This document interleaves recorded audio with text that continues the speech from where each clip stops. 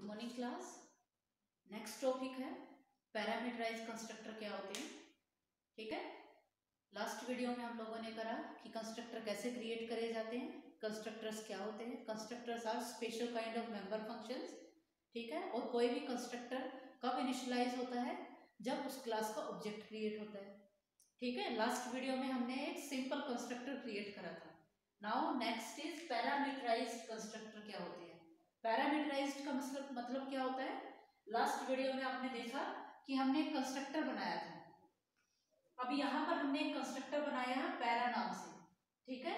आप लोगों को पता है कि जो कंस्ट्रक्टर बनता है same name as class name होता है। यहाँ पर क्लास नेम हमने लिया है पैरा। ये दोनों क्या है? Data members of this class and these two are member functions of this class.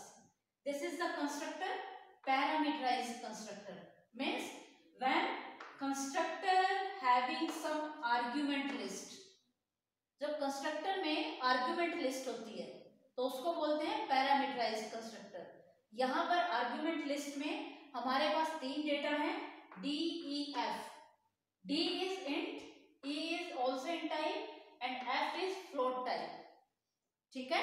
क्यों? क्योंकि जो डेटा मेंबर्स डेटा मेंबर्स को इनिशियलाइज कराते हैं ये आर्ग्यूमेंट लिस्ट कैसे इनिशियलाइज कराते हैं? आप लोगों को पता है, जब हम एक क्लास को टर्मिनेट कर देते हैं, जो डेटा जो मेंबर फ़ंक्शंस होते हैं, हम उनको वन बाय वन कॉल करते हैं। लाइक like दिस अगर हम इस कंस्ट्रक्टर को अगर हम कॉल करेंगे तो क्या होगा? First of all data members को इनिशियलाइज कराएँगे। ये आर्गुमेंट लिस्ट ठीक है? इसलिए हमने क्या करा है?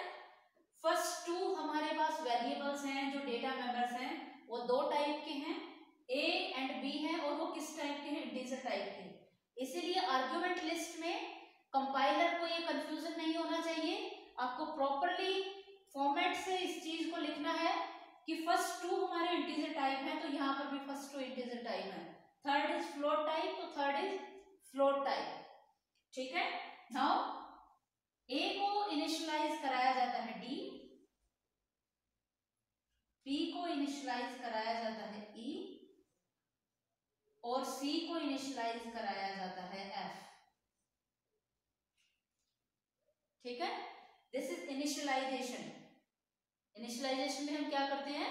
किसी डेटा मेंबर को वैल्यूज़ इनिशियलाइज कराते हैं। अब यहाँ पर हम ये आर्गुमेंट लिस्ट इनिशियलाइज करा रहे हैं। उसका रीजन क्या है? जब इस पर्टिकुलर क्लास का ऑब्जेक्ट बनेगा ऑब्जेक्ट क्या करेगा? ऑब्जेक्ट हैविंग सम वैल्यूज़ और वो वैल्यूज़ पास करी जाएँगी इस आर्गुमेंट लिस्ट को, और ये आर्गुमेंट लिस्ट आपने इनिशियलाइज कराई इस डेटा मेंबर्स को। तो ऑटोमेटिकली इन डेटा मेंबर्स के पास वो वैल्यूज़ आ जाएँगी। ठीक है? Now next member function is show data void class name is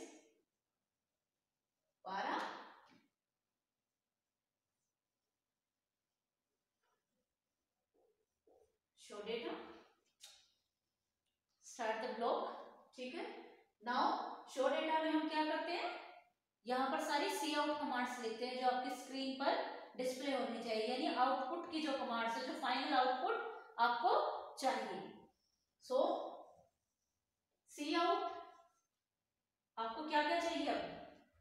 A B C output चाहिए आपको। वो कहाँ से आएगा? इन लोकेशन से। सो ए का आउटपुट चाहिए आपको?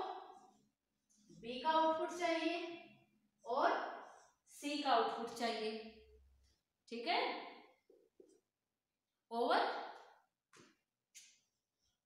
अब main function create the object of this class, then class name is para create the object start with this braces अब ऑब्जेक्ट जब आप क्रिएट करोगे तो some values and all the values should be matched with this argument list so integer type D यहाँ पर होना चाहिए int type of any value two next is integer type of E it's also having a some integer type of value.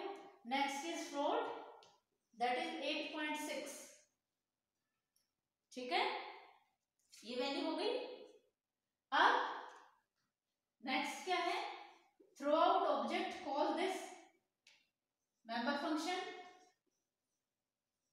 तो ये values print होंगी। अब इस object के थ्रू ये वैल्यूज़ आर्गुमेंट लिस्ट में पास हो जाएँगी। यानी यहाँ पर आ गया टू यहाँ पर आ गया फोर और यहाँ पर आ गया एट पॉइंट सिक्स अब ए और बी की वैल्यूज़ क्या हो गई? वो हो जाएँगी ए और बी की वैल्यूज़ क्या प्रिंट होंगी? Two four and eight point six ठीक है? नाउ लेट्स सी ठीक है? पैरामीटराइज कंस्ट्रक्टर क्या होता है? हम कंस्ट्रक्टर में एक parameter list argument list define करते हैं। उस आर्गुमेंट लिस्ट को इनिशियलाइज कराते हैं डेटा मेंबर्स को। ठीक है? और जब ऑब्जेक्ट क्रिएट होता है तो आर्गुमेंट लिस्ट से मैच करके हम यहाँ वैल्यूज़ इनिशियलाइज कराते हैं। ठीक है? क्यों? क्योंकि नॉर्मली अगर आप यहाँ पर वैल्यूज़ इनिशियलाइज कराते हैं तो इसका क्या ड्रॉबैक होता है? उस वैल्यूज़ को कोई भी यूज़र चेंज कर सकता है अकॉर्डिंगली ठीक है फाइन अगर कोई प्रॉब्लम है थ्रू आउट कमेंट आप मुझसे पूछ सकते